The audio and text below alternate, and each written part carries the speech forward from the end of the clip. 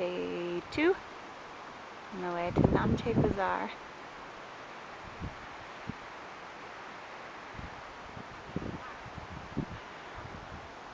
So pretty. Daniel marks the spot, leads the way.